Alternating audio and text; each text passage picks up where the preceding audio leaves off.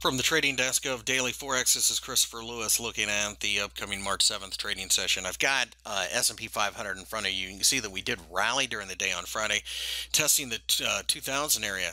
The 2000 area turned the market back around, though, to form a shooting star. Not a huge surprise. Uh, this is a market that uh, has quite a bit of uh, significance here at two, uh, 2000. Not only the large round number, but the noise above. So the shooting star, I think, tells us that we're about to pull back. I think that 1950 50 or so is the floor, though. So, really, I think uh, if you're short-term trader, you can probably short it, but uh, uh, maybe you know buy buying some puts. But uh, ultimately, I think that there's going to be call buyers below that will push this market higher. If we break above the top of the shooting star, that's very bullish.